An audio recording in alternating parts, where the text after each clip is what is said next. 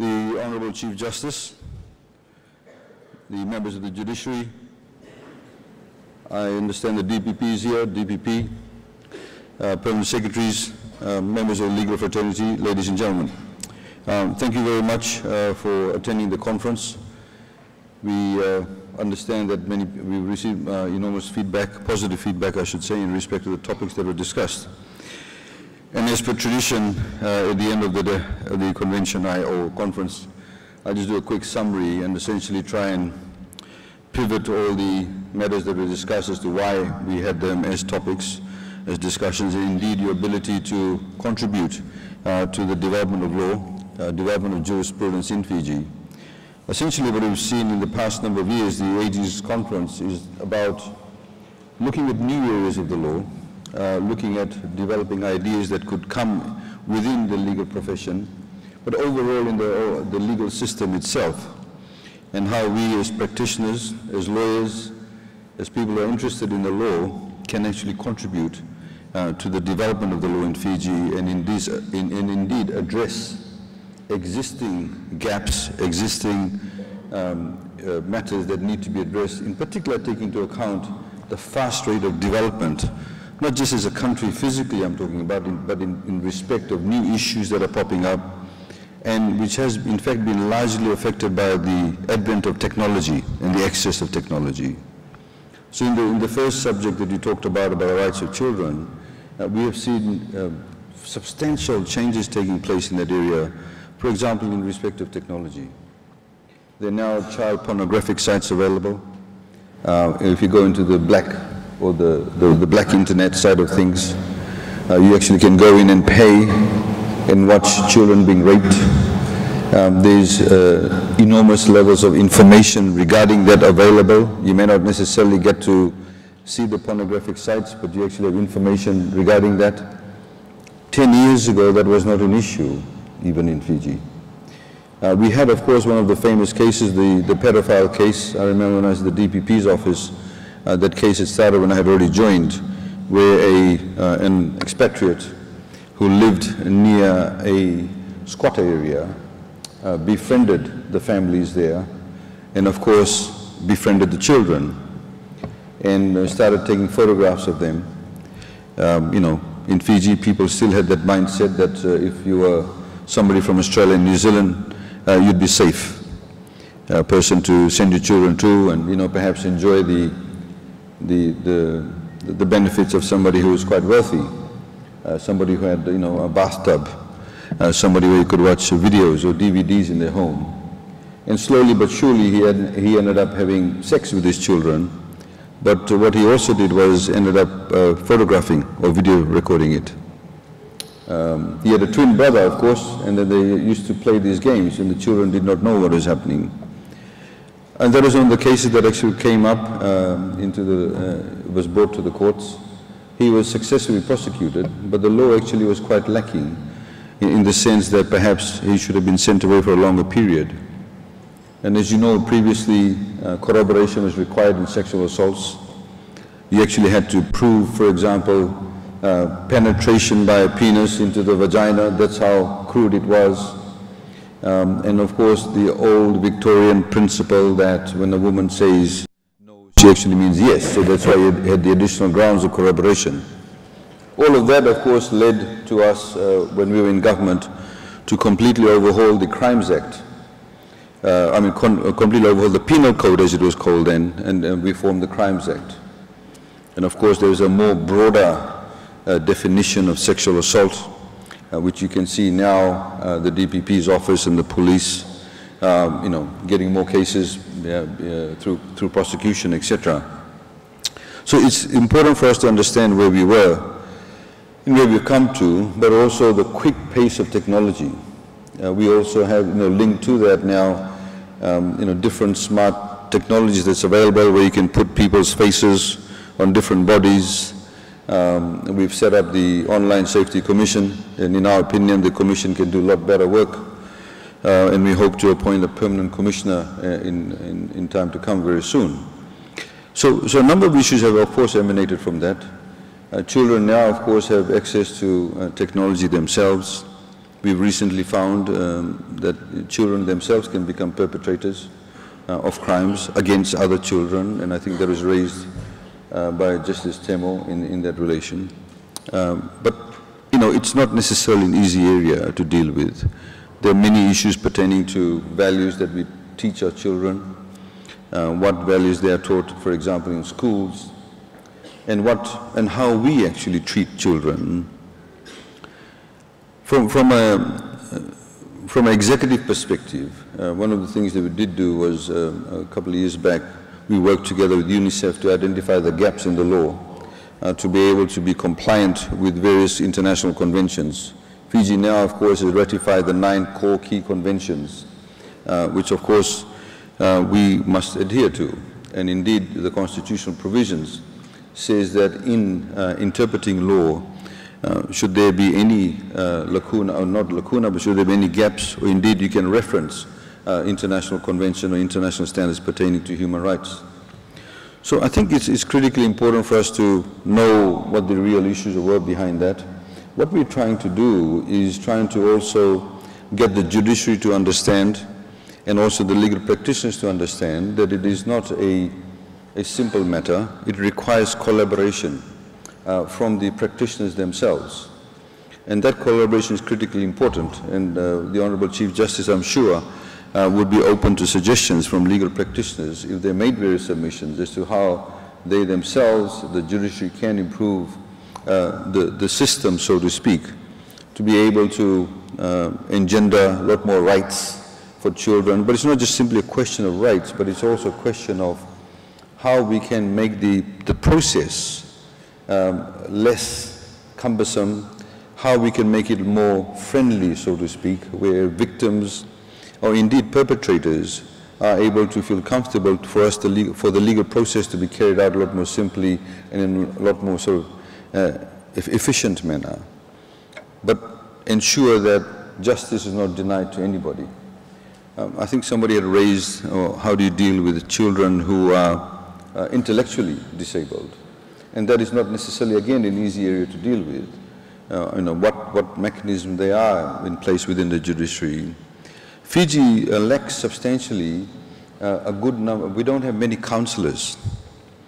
You know, um, parents generally tell the children, they put their hand on the shoulder, we'd like you to be a lawyer, a doctor, engineer. Uh, I don't think many parents in Fiji say, look, you, my child has got a very high level of emotional intelligence and I think that this person will actually be a good counselor. They don't necessarily see it as a career path. So even in schools, we actually lack counselors because nobody wants to become a counselor. I'm sure many of you experienced that your teachers doubled up as counselors. So we in fact have scholarships for people to become counselors.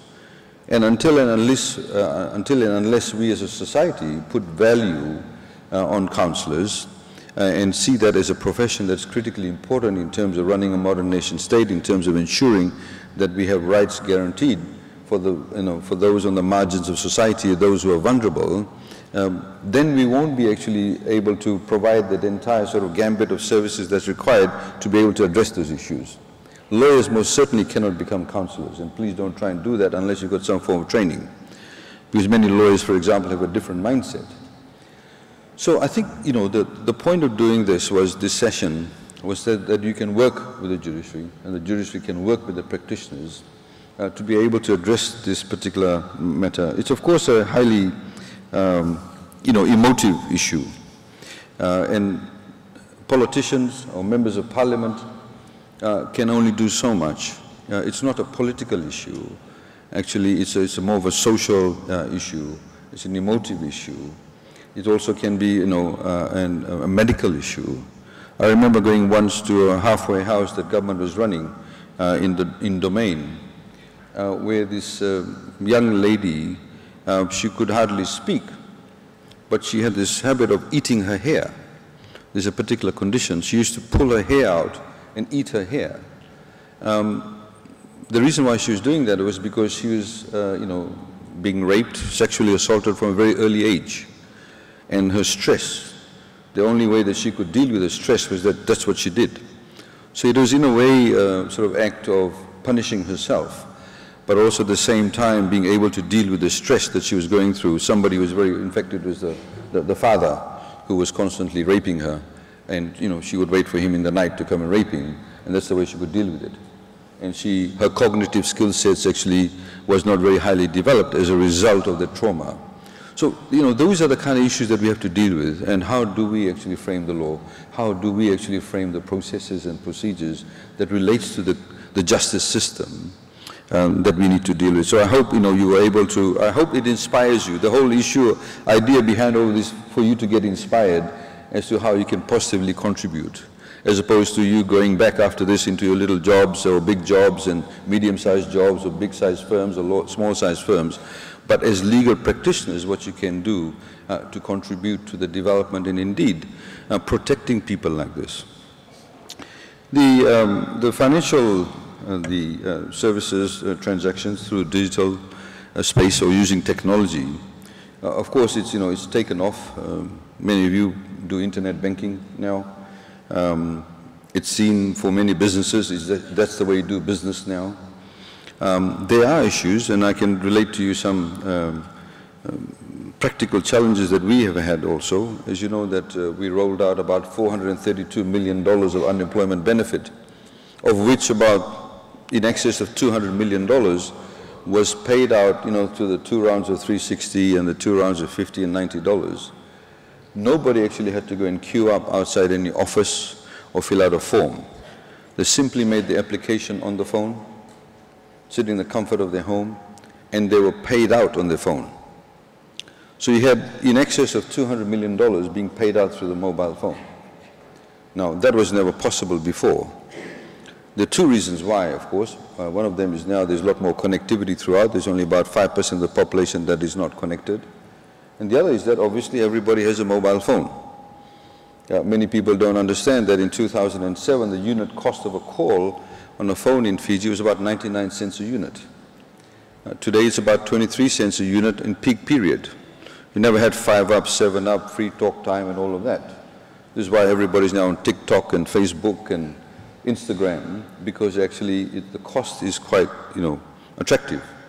Uh, in fact, some studies show that we are the third, third cheapest in terms of access to, to, to, data services. I think we are behind Israel and Moldova, I think is the other country. Am I correct, Paul Moldova? I think it's, sorry? Kazakhstan, Israel, Kazakhstan, and Fiji. So, I mean, these are the, the sort of technological advancements that have taken place. Recently, when we rolled out the inflation mitigation, a dollar a day per child, uh, we had some people who said, I typed in the wrong phone number on which you can send my M-Pesa.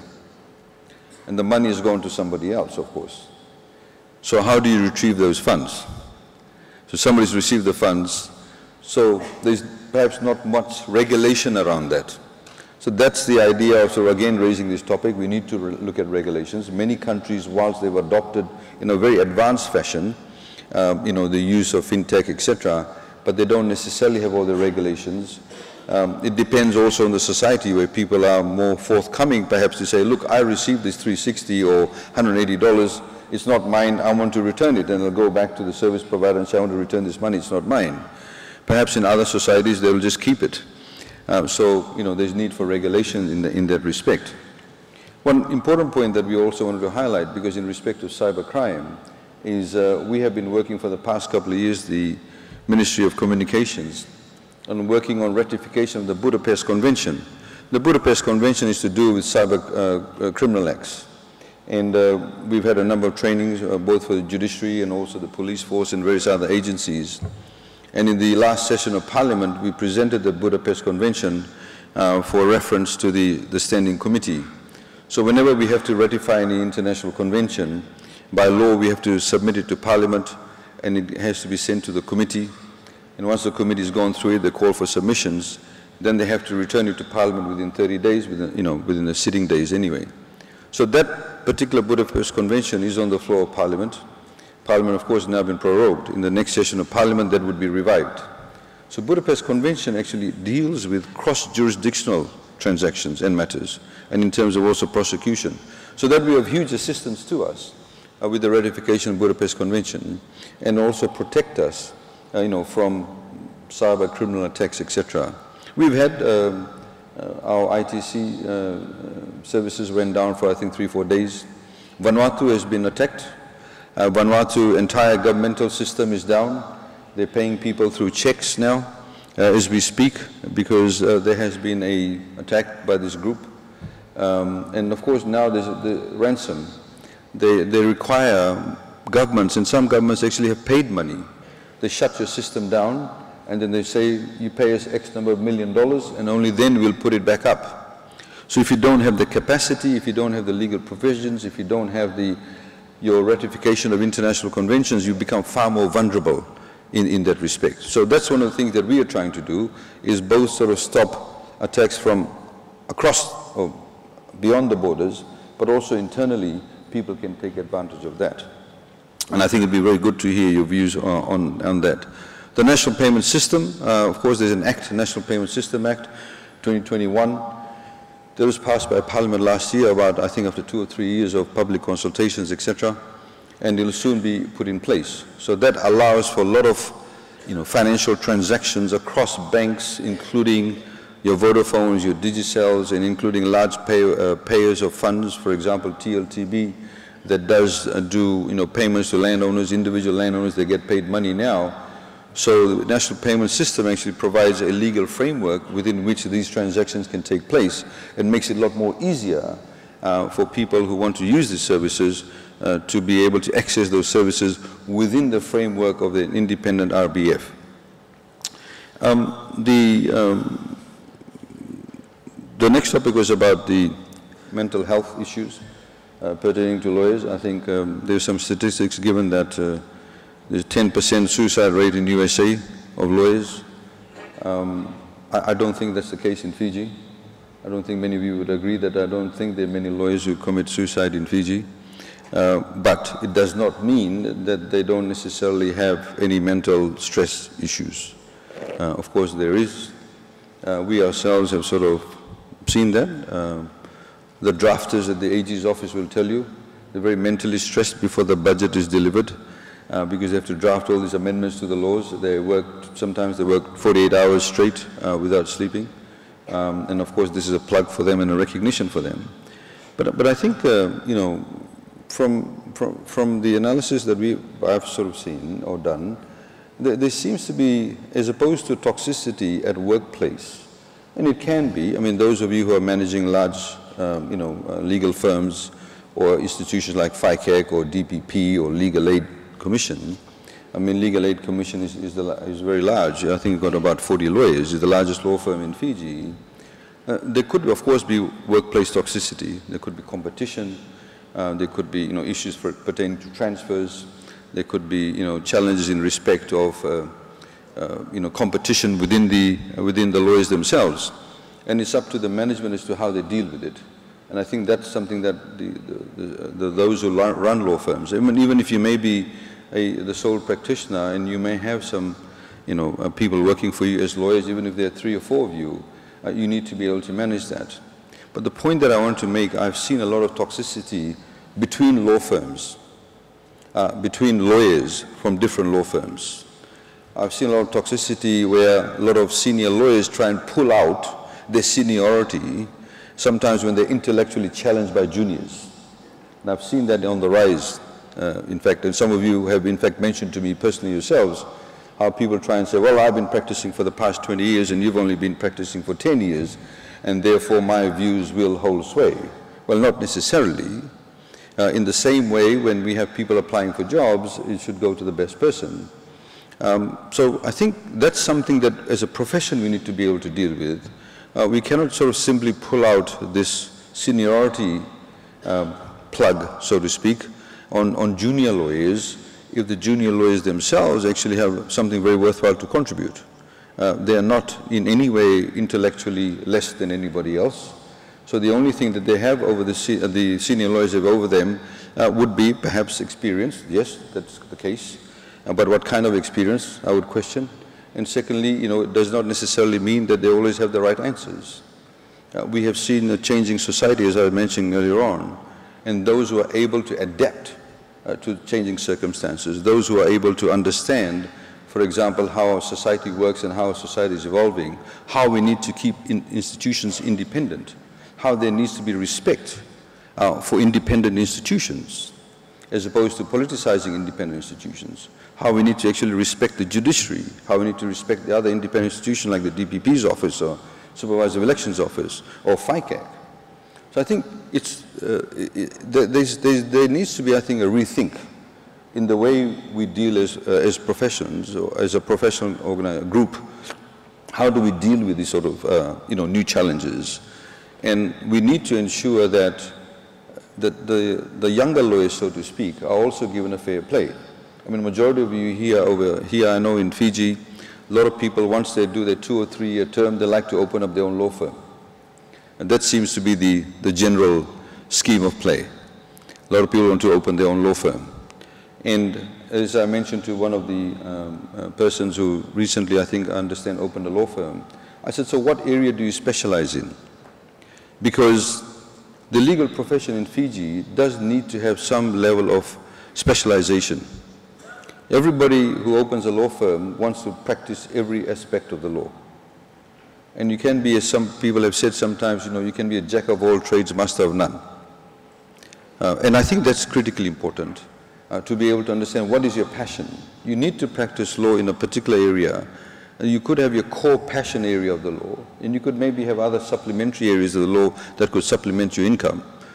Uh, but you need to be practicing in an area where, you, where you're passionate about that. And that would make you damn good at it. The other point, of course, is that the use of technology again, sort of goes back. Many, even the smaller law firms, I mean, I see this all the time because, you know, for the approval of trust accounts, it comes to our office. There are many accounting, uh, new firms are opening up all the time. But at the same time, we get a lot of applications by law firms saying, I, can, I, can you expand the trust account period within which I can give my audit report? We sometimes do this and give extensions to people like three times. So it goes to show a lot of the times that they do not necessarily have the technology in the law firms, that, that the, compliance seems to be the sort of last thing that they think about. The focus seems to be on just running the practice. So if you want to run a law firm, uh, please see what area you want to focus in. Please use technology. Uh, you can also get more clients that way. 70% of the population is below the age of 40. 65% of the population is below the age of 35 they are your main client that you'll be addressing. If they are into technology themselves, why should a law firm not be into technology themselves? That's critically important. You, of course, have now the ability through the Legal Practitioners Act to be able to do a lot more as a profession, also in terms of being able to market yourselves as opposed to what you, know, you weren't allowed to do previously. So that would be you know, my uh, uh, sort of suggestion in that respect. We, we need to move away this sort of stratification in the legal profession. We had a submission from the Law Society some last year, I think the year before last. They wanted to, uh, they said to us, uh, verbally did the presentation, saying, we do not want anybody to open up a law firm for the first five years of their profession. Uh, because they wanted the time period to be expended. Uh, we said, no, we can't simply rely on that submission. We want to hear from everybody else. All the other practitioners, what do they think of that? and what is the rationale behind having that five-year period as opposed to the existing three-year period. So those are the kind of things, and you know, I, I hope that this can eke out and get you to contribute uh, to these areas. There are numerous areas, and what we do find lacking is when we do open up uh, these areas for suggestions and topics, we find very little suggestions. Uh, people, I think there seems to be a culture of, of not being positively engaged, but, uh, but being negatively engaged, as opposed to sort of commenting on things when it's done, as opposed to making contributions before it is done. The, the other point that I also wanted to uh, make was uh, in respect of perma-crisis. Um, you know, the, we had three very good speakers uh, who talked about perma-crisis. And I think a lot of people do not necessarily um, understand the extent of which, uh, for example, COVID had an impact uh, on the economy it had an impact, indeed posed challenges for conventional methods uh, regarding, for example, workplace arrangements. And things like furlongs weren't there necessarily. People now now working from home. There are lawyers working from home. There are people who work in banks who are working from home. So what happens, for example, if I get injured and somebody asks me, well, you know, if I'm working uh, for a bank at home and I, you know, sort of walk from my bedroom while I'm on the computer and I walk to the bathroom and I slip and fall, I'm actively engaged by my employer, so shouldn't I get workers' compensation if I snap my knee? Because if I had fallen in the bathroom at workplace, I would have been compensated. I mean, these are the issues that, that come up. Uh, and these are because of the changes that are taking place in society. Uh, you know, for example, uh, access to, to internet services. If I'm working from home and somebody gets into my sort of, you know, internet, my Wi-Fi area and be, is able to access data, who's going to be culpable for that? Will I, as an employee, uh, be held culpable by my employer to say, you do not have a secure line, and you've actually led to this information that's been leaked out to third or fourth parties. Who is then culpable for that? So a number of those kind of issues are coming up, and we know we need to, we need to think about this. I think the other, the other point is that from perma-crisis, uh, we've seen the world is extremely, you know, uh, unstable. Uh, you've got uh, the, the war in, between Russia and Ukraine. Uh, you've got some missiles, I think, last week sort of landed in Poland and everybody's sort of flexing their muscles. You know, as I was saying to somebody we were having conversation, the First and the Second World War actually started in Europe. Um, and so God knows whether it's going to extend to other countries or not. Nobody knows when it's going to end. But in the meantime, as a small island developing state, we have to deal with the situation. So whilst we're not in the war, whilst we are not sending troops there, we are actually being economically assaulted by the particular crisis that's happening in Europe. So I'm sure the, the speakers did talk to you about how the price of goods have, you know, uh, increased tremendously on the back of a, a, pandemic where the cost of freight has increased significantly. I don't know if they talked to you about freight, but for example, a container before COVID from Auckland to Suva used to cost $5,000. Today, the same container costs $15,500, at least. The holding time at Auckland Airport, uh, Auckland sorry, port is about six or seven days. The Kiwis still haven't got that right yet. Uh, and many other countries actually have those problems. We have many issues, for example, pertaining to you know, bags being held up at airports. So if you're transiting through a particular place and the bags arrive six, seven days later. These are new challenges. So how do we deal with that? And how do we, or how flexible or agile should we be to those changes in society? Uh, and that's critically important because sometimes, for example, the very issue, I mean, there's one topic I was going to talk about, but I know it's before the, before the court, so I won't mention that. But you, you need to be able to respond to those changes really quickly. And sometimes those changes or those responses aren't necessarily only sort of economic policies. But as you know, economic policies sometimes require legislative changes. And when you have legislative changes, it, it may actually affect certain standard procedures it may affect some people's rights. But then there is, of course, a deliberation between the rights of a small group of people over, over the, the, the rights of the national, national good or the national interest. So these are, of course, not easy issues. They need to be dealt with. In the, in the same way, you know, we need to be able to ensure that whilst all of this is happening, the legal profession is running a particular standard. The judiciary is not actually being assaulted. The judiciary, of course, has to deal with new issues, whether it's to deal with cases pertaining to curfew. These are all new matters that need to be dealt with by the judiciary, and the judiciary equally needs to be responsive. The judiciary cannot be caught in a time warp. All of us cannot be caught in a time warp. And how quickly we respond to that uh, is, is significantly impo important. Um, I think in all of this, uh, with the perma crisis, is that we need to ensure the independence of independent institutions. We need to also ensure that we zealously guard the independence of those institutions. Because when you have a situation like a perma-crisis, when you have changing circumstances overnight, people can fall back on those independent institutions. People can also rely, for example, on the sanctity, if you like, of the judiciary.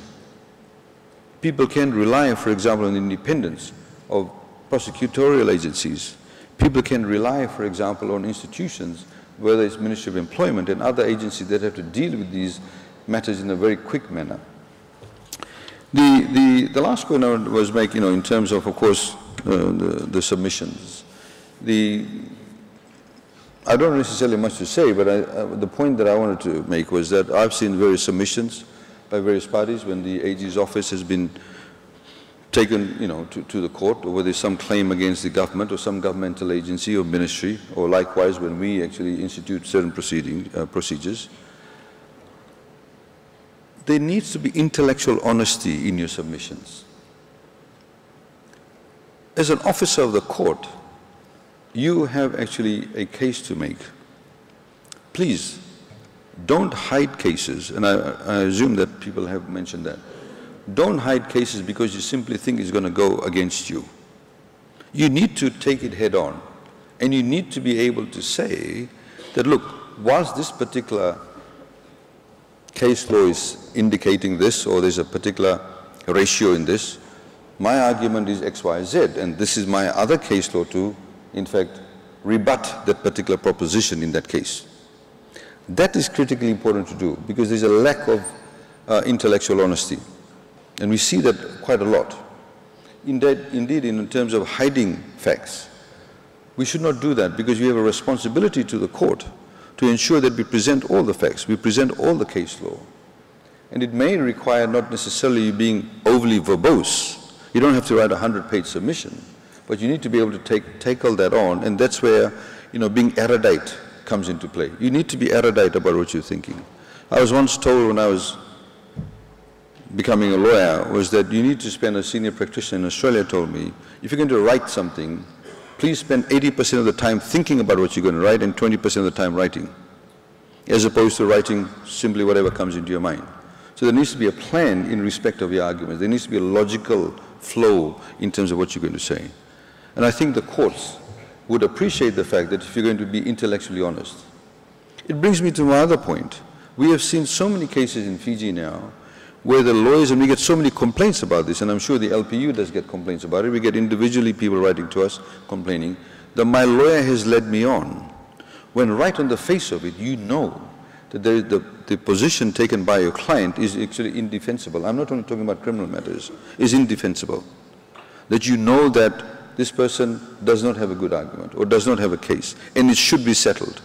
Yet many lawyers will continue to take, money from their clients, give them false hope, drag the matter out through the system. It's a huge burden on the judicial system.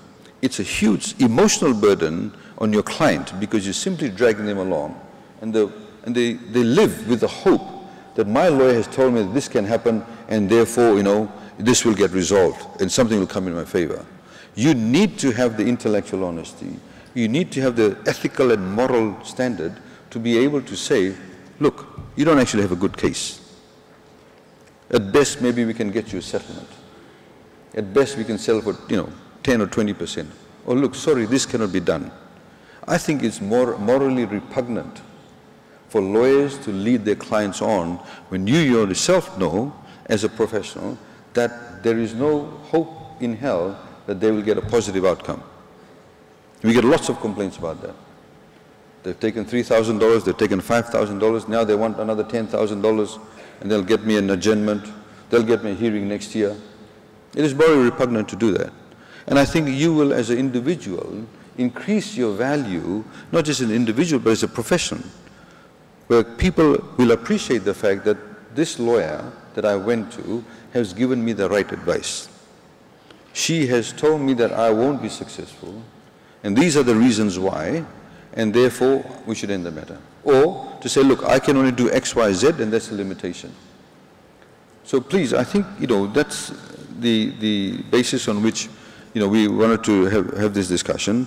I think the, the other point that is critically important is the development of jurisprudence. I've said this so many times uh, previously. Lawyers in Fiji, not all, some, still are beholden to the precedent that's already been set. As I said, this is the 21st century. You have things like the perma crisis. You have things like technology, access to pornography, whatever the case may be. The world has rapidly moved on. Rapidly moved on in the same way the law needs to get up to pace with the changing circumstances, which will require sometimes setting new law. I've always lamented the fact that in the 2013 Constitution, there's an entire array entire array of socio-economic rights. Yet we have not seen those socio-economic rights being implemented through cases because lawyers are not willing to take up those cases. And there's fantastic jurisprudence available offshore. You can create new jurisprudence in Fiji. And I think, you know, as a, as a profession, that would be a wonderful thing to do. You're actually setting new law. The judges need to get up to speed with respect with many socioeconomic rights. And we've seen, for example, many cases, whether it's case of Soobramoney from South Africa and various other cases, uh, the Lovelace case from uh, Canada, where they've actually broken new ground in terms of implementing not only socio-economic rights, but uh, you know, civil and political rights. So, ladies and gentlemen, um, I'd like to uh, thank you all for your, for your contribution and your participation at this conference. Uh, we have not had this conference uh, in this uh, particular location. As you know, we've always been beholden to uh, Natadola. Uh, but the good thing is that both of these hotels are owned by FNPF. So you're contributing to your own your FNPF accounts. the money is going there. Um, we've, we'd like to also thank all those participants, those who uh, you know, participate via Zoom and those who are physically present. Um, I'd also like to thank um, the members of the judiciary who've taken time to be here, including the Honorable Chief Justice, uh, and everybody's worked behind the scenes.